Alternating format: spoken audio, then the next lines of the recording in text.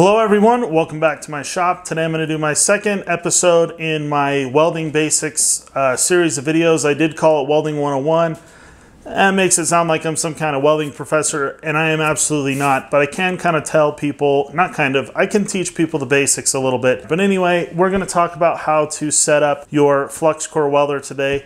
This is the Yes Welder Flux 135. I did do a whole project with it and uh, already set it up, but I wanted to use it to go ahead and show people how to set up a flux core welder because uh, a lot of people are going to be using this style of flux core welding machines or you know like my Century FC90 and then there's also my Forney Easy Weld 140 MP. Those are all three different styles. I might show each of them uh, just briefly in the variations, but every machine is going to look a little bit different, but they're pretty much going to be set up exactly the same across the board. All right, so the first thing you're going to want to do is open up your flap to access your wire drive mechanism and where your spool is going to sit. I already have all my little parts off. You know, in this particular welder, there's a washer, a spring, a cap, and then a wing nut. So basically what you're gonna wanna do is you're gonna want to take your wire spool. This is a two pound spool from Blue Demon.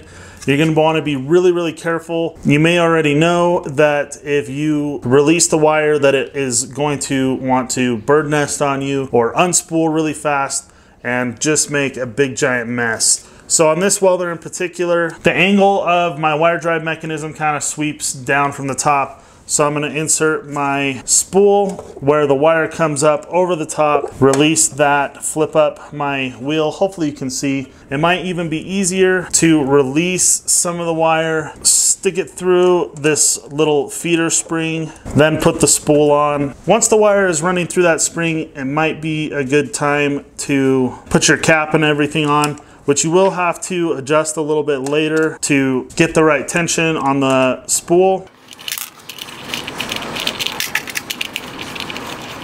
I'm just gonna leave it nice and tight for now. So the next thing you're gonna wanna do is make sure that your drive roll is on the correct setting. So this is 30 thousandths wire or 030 wire. So you're gonna wanna take your knurled wire drive roll here. I'm sure it's not in focus. You might be able to see the little knurlings there in the drive roll, maybe not. But basically, uh, if you're running flux core, you want those knurled, the knurled rolls, it, you know, because some of these drive rolls are going to have a smooth end, and that's for your solid core wire. And so basically, the other thing you want to know is like this has an 8 tenths side and a 9 tenths side. So the 9 tenths is 35 thousandths wire or 035, and then the uh, 8 tenths side is for 30 thousandths wire or 030 wire. So since I'm running 030 wire here in the machine, I'm gonna put the 8 tenths side out so that that is what is pushing the wire along. Next, you're gonna wanna put your cap on because especially on this style,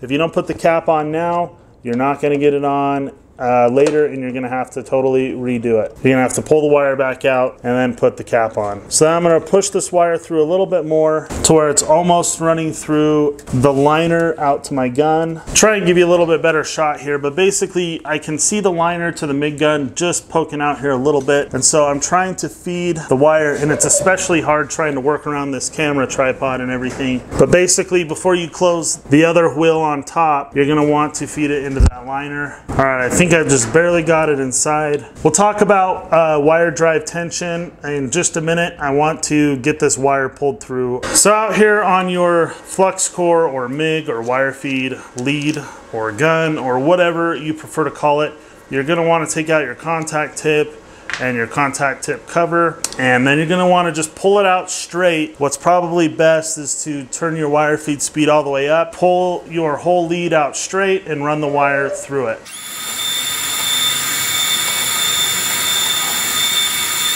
And that is until it sticks out the end of the gun here like this. Then you'll put your contact tip back on. I apologize for the camera being out of focus. And then your contact tip cover. So back here at the machine, you don't want your spool tension to be too tight because you don't want to have to make the wire drive mechanism work harder than it has to. So one way to know if it's too loose is if your spool's just wanting to unspool on you. Now this, there's a lot of friction on this spool rod, the little plastic rod that the spool sits on. I can see where from the welding I've done in the past, it uh, rubs a lot. So I don't know that I'm gonna have that issue on this. but you definitely just don't want your spool to be too tight or too loose. If it's too loose, it'll just come and unspool on you. If it's too tight, then you're just gonna make your wire drive mechanism work too much. So uh, just put it on there just tight enough to where it doesn't wanna unspool on you. That's about just right. That I don't think that I can even really get there with this machine.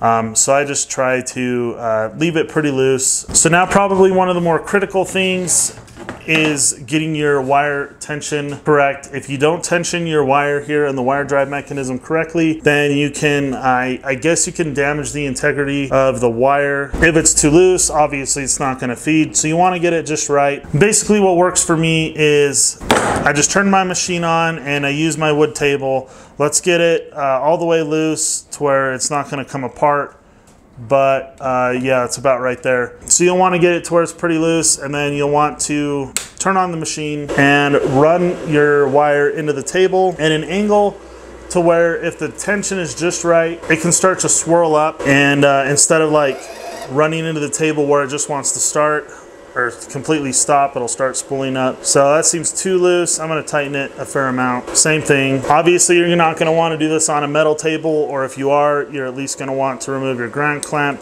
so you don't start welding. I would say that angle is probably like a 45 degree angle.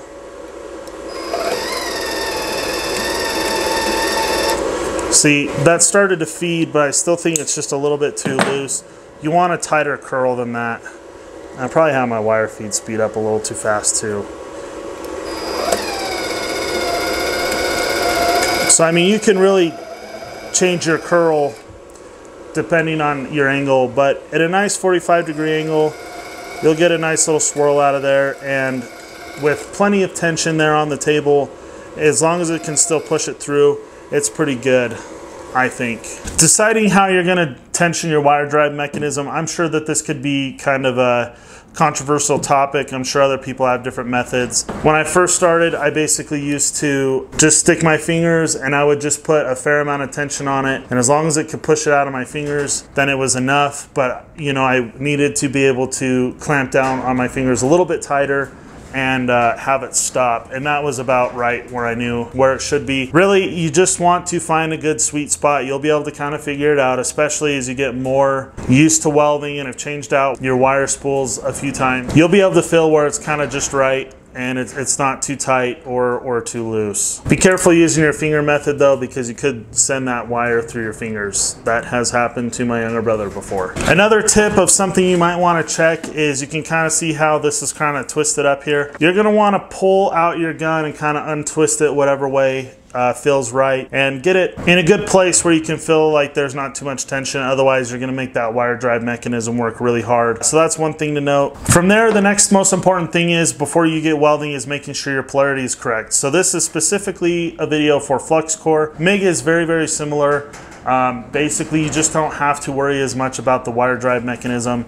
And then there's this part where you need to make sure that your polarity is correct. So this is a flux core only machine. Like it is not set up to run a gas shielded MIG. And so I don't have to worry about it. It's set in one polarity. And I mean, maybe I could change it, but it'd be stupid to change it. It's going to come correct.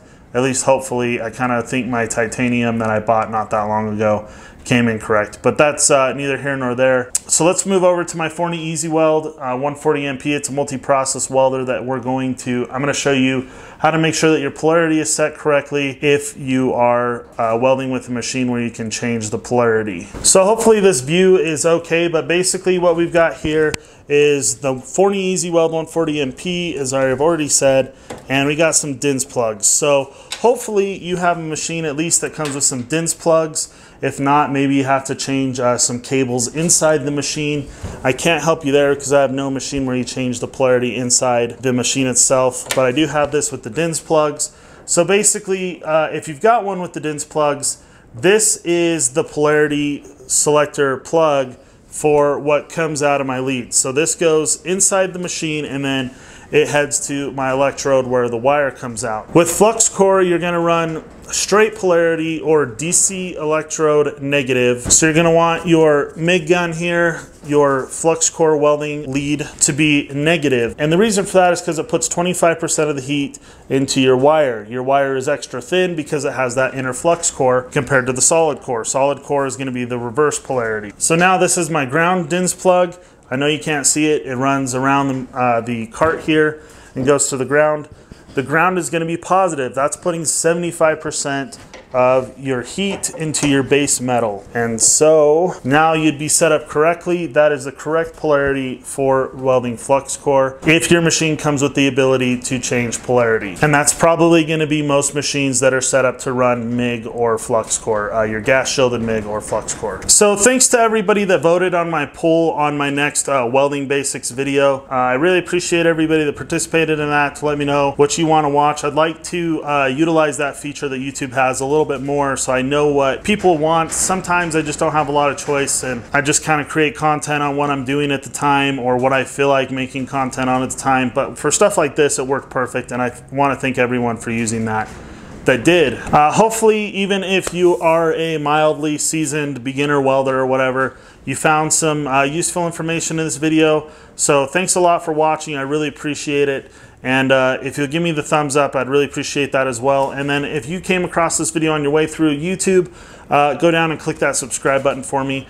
I'd really appreciate that as well. Thanks everyone for watching. We'll see you in the next video.